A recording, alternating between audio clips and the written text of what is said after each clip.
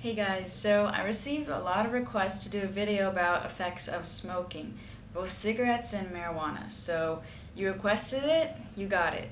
But let me start off by saying I'm very liberal and whatever you want to do, you go ahead and do it. I know some things might not be healthy for you, but in the end, it's your life and I'm not going to stop you from doing what you're doing. And I'm just here to tell you the facts. So I went ahead and drew this picture for you guys so you guys could get a better understanding. And so you can see here, this is the normal epithelium in the trachea, okay? Notice the shape. It's columnar and it has cilia on top, okay? But when you start smoking, it's gonna change to a different type of epithelium, and this is called metaplasia. And so notice how it's gonna switch, okay? So it's not columnar shaped anymore, the cilia is not even on top, okay? But the reason it does this is because this columnar epithelium here in the normal individual is really delicate, okay? But when you start smoking, it's like it's like a stress, okay? So it's wanting to get more rugged, a different type of epithelium that's stronger that can tolerate that smoke. So that's basically a survival advantage. So it can tolerate the smoke. So it sounds good. It sounds like it's going to tolerate the smoke, everything's going to be fine. No, not really because you're not going to be able to produce the mucus anymore and you're going to lose the cilia, which is very important in extruding all the small particles out of your system. And this is why you see smokers always coughing and coughing because they don't have the cilia to get the stuff out, so they get a cough to get it out. So if you keep smoking, it can lead to lung cancer. If you stop smoking, you have a very good chance of avoiding lung cancer if all the layers of the epithelium have not been affected yet. So besides lung cancer, emphysema and chronic bronchitis and even oral cancers can occur.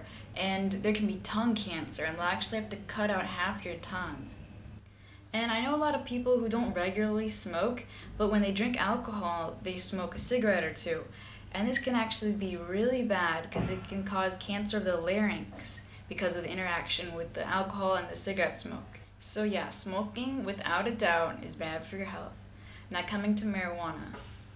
I think a lot of doctors are either against or don't have an opinion about medical marijuana. I do think that medical marijuana can be used appropriately in certain situations, such as glaucoma and um, to actually stimulate the appetite in patients who have AIDS because they they go through anorexia and they, they their appetite needs to be stimulated, and also in um, post-operative patients after a kidney transplant because marijuana is going to lower the immune system, okay? And therefore, it reduces the chances of that kidney being rejected by the body.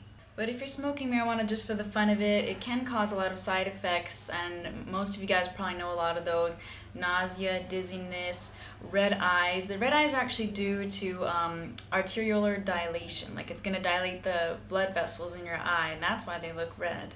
Marijuana can cross the placental barrier, so it can affect the fetus, and it can also enter into the breast milk. So, ladies, if you are pregnant or if you're lactating, please avoid marijuana.